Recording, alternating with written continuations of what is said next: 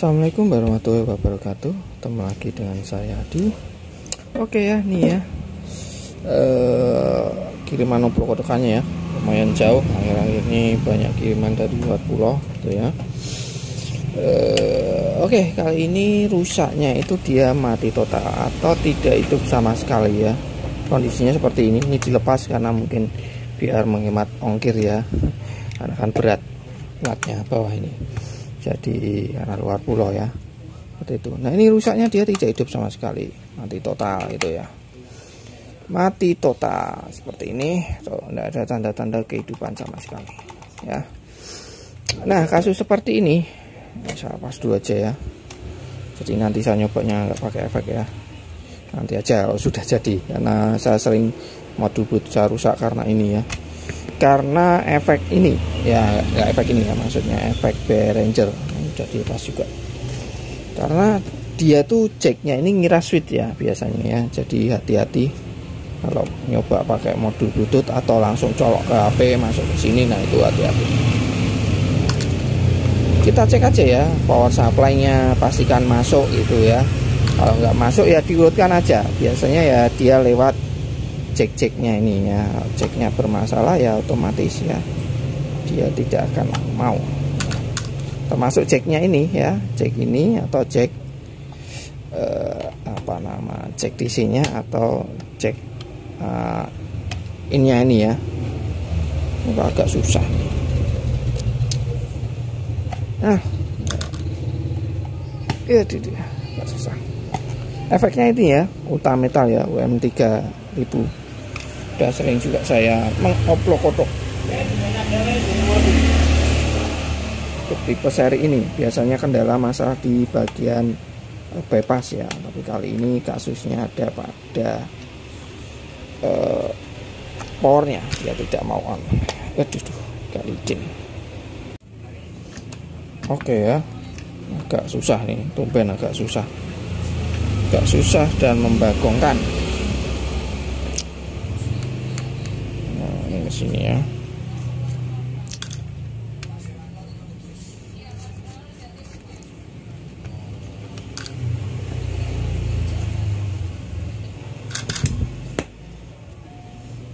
Oke, ini udah dioplok kotok juga ya. Ini jumper ke sana.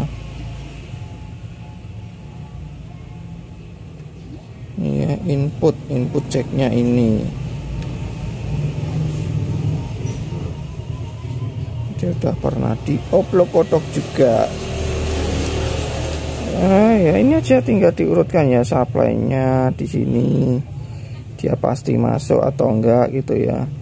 Terus ceknya ini. Nah ini kita coba aja lah ya. Nah ceknya ini ngira switch ya saya. Untuk groundnya sebentar saya cek dulu oke ini connect connect sebentar inputnya sebelah sini.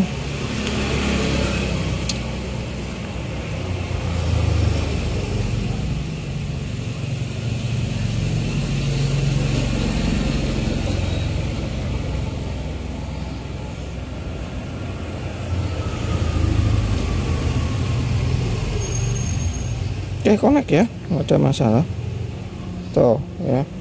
Ini ketika tidak dicolok dia nggak connect ya. Ketika saya colokkan seperti ini dia connect. Ah bentar testernya nggak kelihatan. Ih.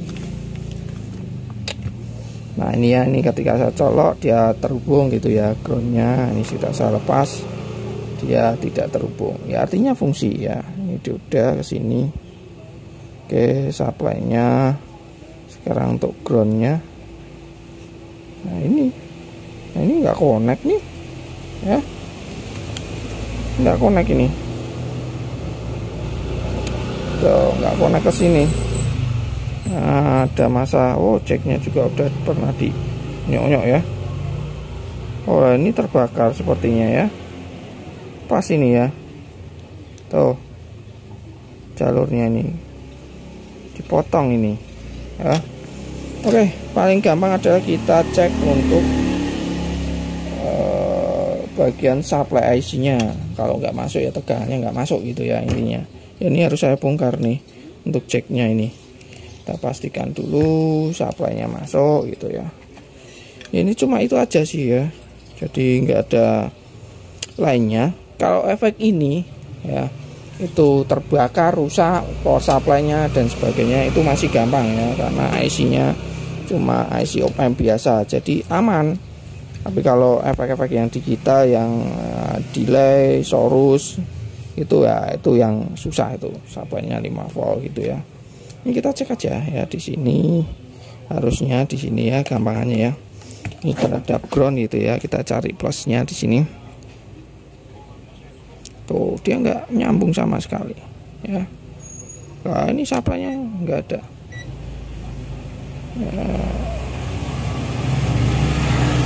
sapanya nggak ada. Oh ini 9 volt ya 9 volt. Oke ini minusnya 9 volt ini ke sini. Nah ini nggak ada nih ya, ya. tuh supply-nya ini. Ini jalurnya putus no 9 ini ke sini. Nah, ini ada nih. Oh yang ke sini? Enggak ada nih ya. Supply-nya yang ke situ. Oke sekarang saya terhadap ini ground body. Nah ini enggak ada nih otomatis dia nggak akan eh, nyala ya. Terus kita cek tegangannya di sini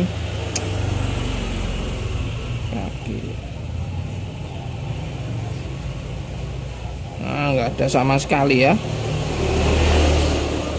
Nggak ada sama sekali. Oke nggak ada sama sekali ya nggak akan masuk ya.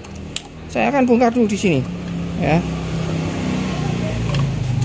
Di sini nggak ada ini diodanya kita lepas dulu ceknya ini ada yang terbakar di situ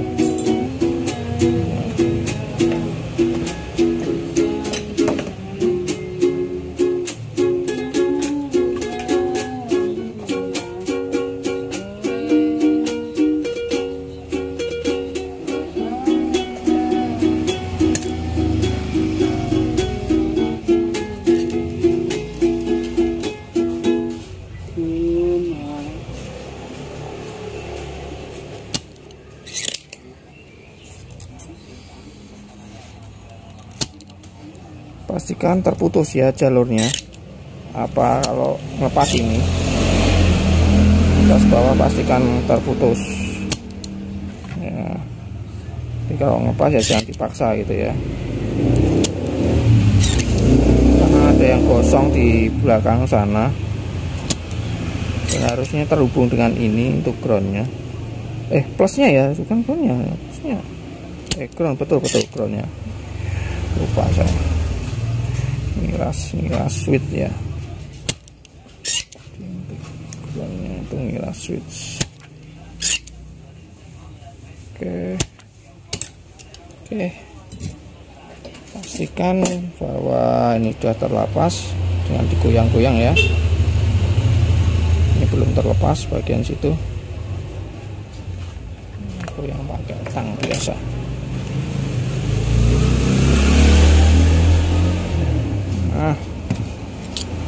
congkel dulu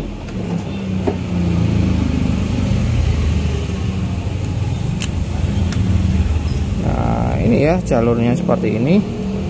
Tuh. Ini loh putus di sini. Ya ini ya. Ini ke sini nih. Nah kelihatannya putus di situ. Nah, itu kita perbaiki dulu nah, pakai metode penerawangan nah ini ya bisa kalian lihat di situ ya.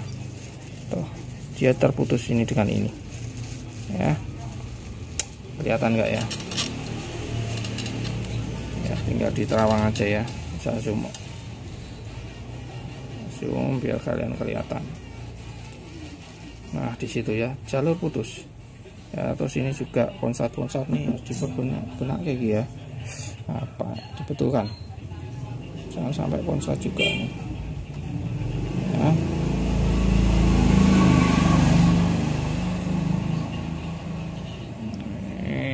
itu jalurnya kita sambung dulu. Nah ini pasti berhubungan dengan jack gitu ya. Coba akan saya kerok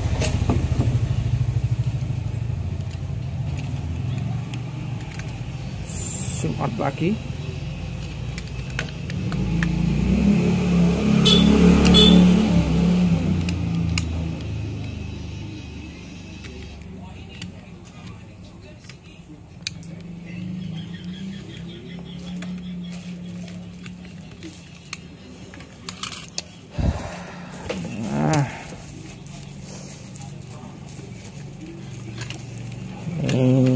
cek di sini. Nah ini ya saya akan lihat nih. Ya testernya kelihatan.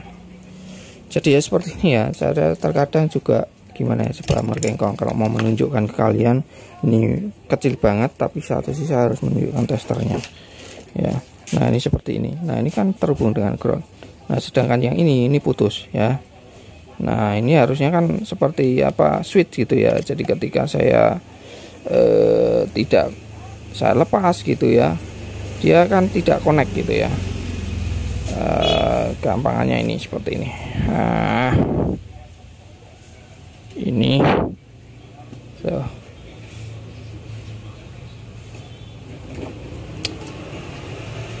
apa saya sambung dulu ya biar nanti enak untuk menunjukkan ke kalian ya. Jadi fungsinya seperti apa. Ini yang jelas ini sama ini putus ya. Ini putus ini akan saya sambung dulu e, setelah saya sambung nanti baru kita cek gitu ya harusnya seperti apa gitu ya. Sambung pakai kaki resistor aja untuk sementara gitu ya.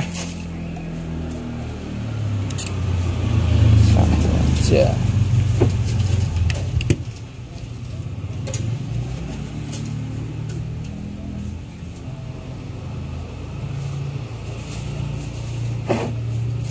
nanti kita rapikan ya untuk sementara dulu aja.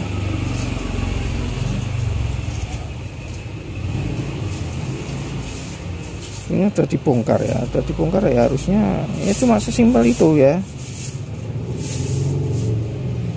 Sudah dibongkar itu sesimpel itu gitu ya. Enggak enggak ruwet ini sebetulnya kalau cuma masalah sampai tidak hidup itu cuma itu. Enggak ada rangkaian khusus gitu ya kecuali bypass tidak fungsi gitu ya. Jadi ketika ini nggak jalan lednya ya kalian suara keluar nah itu baru bypassnya tidak berfungsi gitu ya. Seperti itu. Nah ini dengan ini. Nah ini dengan ini ya. Ya ini seperti ini. Nah ini baru nyambung ya. Pasti nggak nyambung ya. Nah ini dengan ini. Ini sama ini ya seperti yang saya bilang tadi. Dia nggak connect gitu ya ketika saya colok jack dia baru connect gitu ya. Baru terhubung seperti ini. Nah seperti itu ya. Nah sedangkan ini ini groundnya ya ini pasti terhubung dengan supply. Wah ini menghadap ke mana nih isinya salah satu ya kaki 4 eh, kaki 11 ya. nah ini ya. Ini kan dia nyambung ke sini. Nah kaki ini. Ini juga ya. Tentunya kalau ini nggak nyambung ke sini ya tentunya dia nggak akan nyala. Ini nggak masuk ke ground sini ground mesinnya ya dia nggak akan nyala gitu ya. Seperti itu ya. Sesimpel itu gitu ya. Nah penyebabnya kenapa? Nah, mungkin. Mungkin ya saya nggak tahu ya awal kejadiannya seperti apa ataukah karena faktor eh, penggantian ceknya ini terus putus jalurnya gitu ya. E, itu juga bisa seperti itu Bentar, saya tak geser. Soalnya stand kamera saya nggak nyandak, goyang-goyang. Jadi seperti itu. Nah, ini jauh-jauh udah kirim ke sini itu. Ya, karena banyak sekali, banyak sekali saya itu apa namanya? Uh, orang yang mau kirim dari luar pulau itu tergantung barangnya apa anunya apa. Saya terkadang ya pasti ya saya pikirkan pertama ya ongkos kirimnya keluar pulau sana sini pasti mahal. Uh, pulang pergi aja udah mahal belum perbaikannya apakah sesuai dengan uh, barang yang mau diservis. Itu pasti tetap menjadi prioritas ya bagi saya. Jadi nggak hanya berpikir cuan tapi harus memikirkan apakah worth it atau tidak itu ya. Karena kasihan juga. Dan kira-kira saya bisa perbaiki atau tidak. Nah itu juga menjadi sebuah namun juga ya sebagai pertimbangan gitu ya buat saya. Tuh. Seperti ini efek ini apakah worth it? Ya tentunya. Ya, kalau kirim ke sini mengingat harga efeknya ongkos pulang perginya ongkos nyapisnya gitu ya. Mungkin kalau kalian mau beli baru ya mungkin selisih sedikit. Oke ya maaf agak terputus tadi. Ternyata ada panggilan masuk yang menyebabkan error ya kameranya. Stop. Eh ini. Untuk dioda saya ganti aja. Karena agak pendek ya. Cepet gitu. Makanya dia taruh sini. Kakinya pendek ini saya ganti aja. Saya taruh di sini ya biar tetap rapi gitu ya.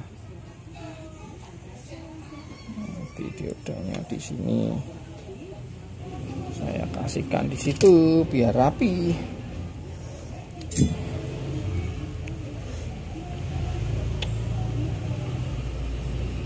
Nah biar rapi kan enak ya. Oke. nah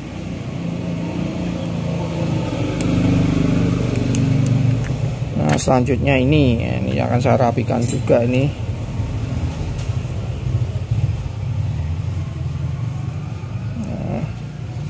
Saya akan rapikan juga jalurnya. Nah ini satu hal lagi yang amat sangat penting. Perlu dicatat juga ya. Penting dan perlu dicatat. Ketika kalian ngepas seperti ini Pastikan jalur atas bawah itu terhubung. Pastikan ya. Mengapa seperti itu? Jadi ketika kalian solder Ini jalurnya Ini kan ada jalurnya kan di atas ya. Jalurnya di atas. Ini juga di atas ya Untuk plus minusnya. Ini juga ini di bawah juga ada ya. Yang ini atas nggak ada tapi ini di bawah. Yang lain di atas yang dua ini. Nah ketika kalian solder di sini kalau ini tidak terhubung dengan di atas ya artinya sama aja gitu ya itu yang perlu diperhatikan nah mungkin kasus awal seperti itu ya ganti konektor gitu ya kalian cek aja ya di sini ya ini dengan ini itu harus nyambung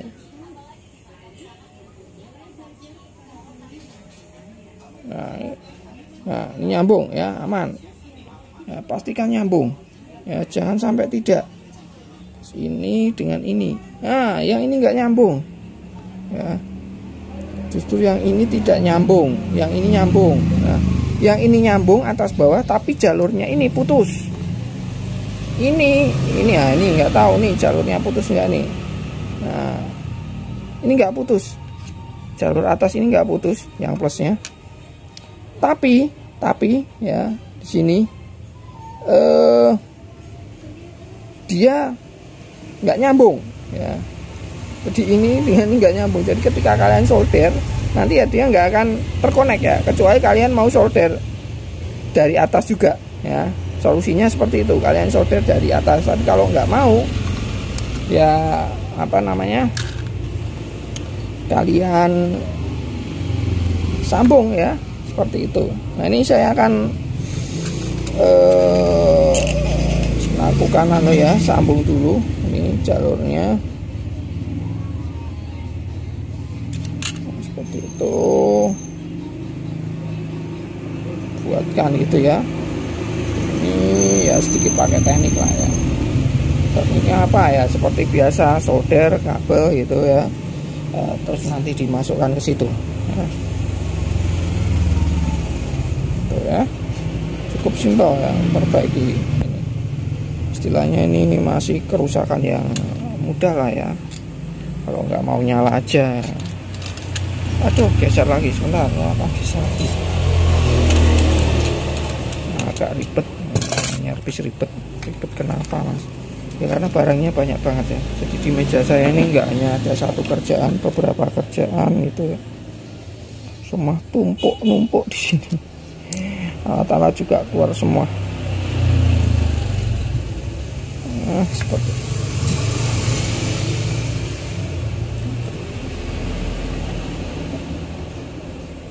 penting ya dicatat itu ya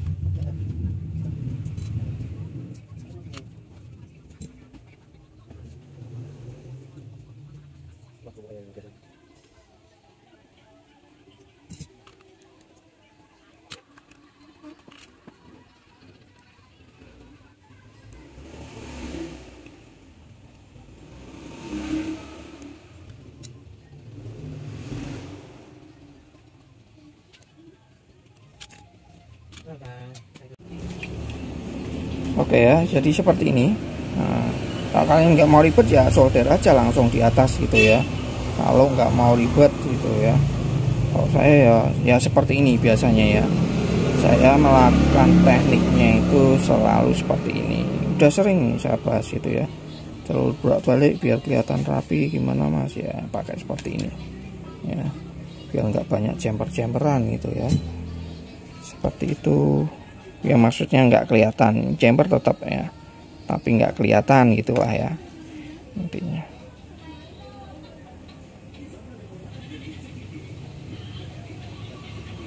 Udah selesai clear. Tinggal nyoba gitu ya. Tinggal mencoba. Oh, saya cek dulu pastikan gelnya terhubung di sini dengan ini. Oke, sip terhubung ya. Oke sip. Menggunakan baterai ya. Saluran baterai. Oke sekarang langsung aja. Ini harus dicolok ya. Kalau nggak dicolok ya dia nggak akan nyala gitu ya. Oke seperti itu nah ini.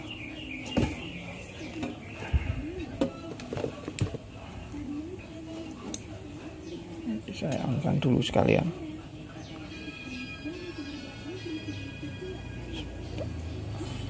Oke, colokkan.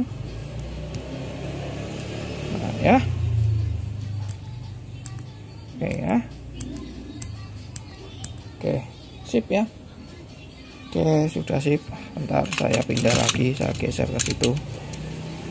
Ya. Saya pindah-pindah dulu, geser-geser. Nah, jadi seperti itu ya. Nah, ini kalau tanpa cek ini, jadi nggak akan bisa nyala karena seperti yang saya bilang dia ngiras ya. ini saya harus selalu hati-hati ya kalau mau memperbaiki apa namanya efeknya Ranger ini. Kenapa mas? Wah korban banyak. Itu sering rusak gitu ya. Gara-gara si tututnya ini. Pas saja ya kita tunggu sebentar buat nyoba ya. Nunggu aja dulu ya sebentar. Habis itu kita coba. Oke ya kita coba ya, kan? Nah. Oke. Oh ini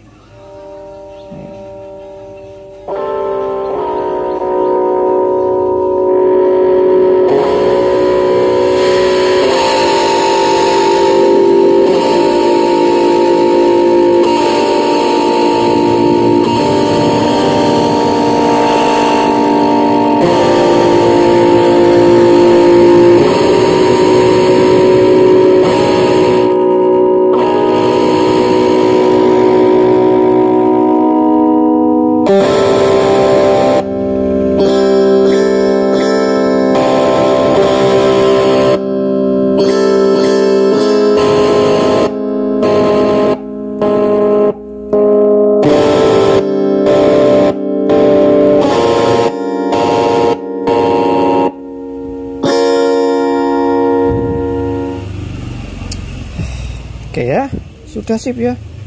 Sudah sip, sudah jadi. Ya, kurang lebih seperti itu ya. Permasalahannya hanya pada ya jalur-jalur yang putus seperti itu ya. Ini ada yang lain. Jadi perlu diperhatikan. Itu aja sih kalau kalian uh, tahu prinsip dari efek gitu ya. Efek kita kodok-kodokan gini ya ya gampang ya. Ya nyala ya cek supply-nya nah, fungsi atau tidak dia masuk atau tidak. Itu aja sih nggak ada yang lain ya. Tidak ada yang lain. Tuh, jadi ya. Kalau kalian ganti dengan PCB double layer apa pun itu nanti cek ceknya ini eh, cek DC cek untuk in outnya uh, potensionya. Ketika kalian sudah melepas jangan lupa cek antara jalur atas dan bawah. Apalagi kalau di atas ada jalurnya seperti ini ada jalurnya ya. Dia pastikan uh, tidak putus gitu ya ketika kalian nyoder dari bawah. Kalau kalian tahu nih putus ya ini bisa disolder di sini ya kalian mau solder sini ya nggak masalah gitu ya. Kalian tambah seperti ini misalkan misalkan ya seperti ini. Ini kan udah saya solder di bawah gitu ya. Karena kan jalurnya ada di atas. Ini kan nggak nyambung karena bagian atas dan bawah nggak nyambung nah itu kalian misalkan mau eh, apa namanya wah ini biar tambah anu saya tambahi solder di sini. Nggak masalah ya seperti itu. Malah tambah kuat. Cuman resikonya nanti ketika kalian lepas gitu aja ya sedikit agak susah gitu ya. Nah, misalkan seperti ini itu ya. Oh ya. Kalian tambah di sini saya solder juga lah misalkan gitu biar aman dua-duanya misalkan di sini juga lah gitu ya. Nggak masalah.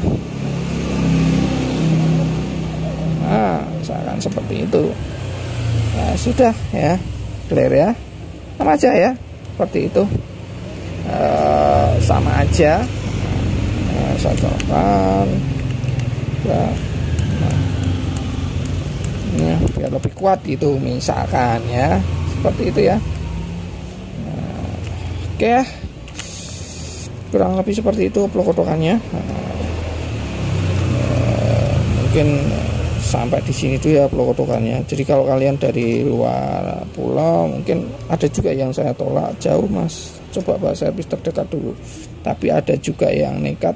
Di sini nggak ada yang servis mas. Sudah coba anu ya kalau tetap saya tolak ya pasti ada pertimbangan lain gitu ya. Mungkin karena faktor mungkin ada kemungkinan tidak bisa saya perbaiki gitu ya kemungkinannya seperti itu. Jadi jangan dipaksakan ya. Ya boleh sih kalau kalian coba-coba cuma ya nanti resiko kalau misalkan tidak bisa diperbaiki ya. Ya apa namanya? Ya paling rugi di ongkos gitu ya. Ongkos pulang pergi. Kalau pengecekan biasanya kalau tidak berhasil diperbaiki saya selalu tidak menarik apa eh, menarik ongkos ya. Ongkos pengecekan gitu ya. Misalkan tidak bisa diperbaiki ya free gitu ya. Jadi terkadang eh, apa namanya ya tuser itu ya gitu ya susahnya. Kalau nggak udah kadang tombok udah beli spare part macam-macam dan ternyata tidak bisa diperbaiki gitu ya. Tombok waktu rugi waktu kadang harus making kembali e, ngirim barangnya kembali kena parkiran juga gitu ya. Ini kita afrikan gitu ya. Terkadang masih di Paido itu ya. Oke tinggal ngirim balik ya. E, mungkin sampai di sini dulu ya servisannya blok sampai ketemu di video selanjutnya. Assalamualaikum warahmatullahi wabarakatuh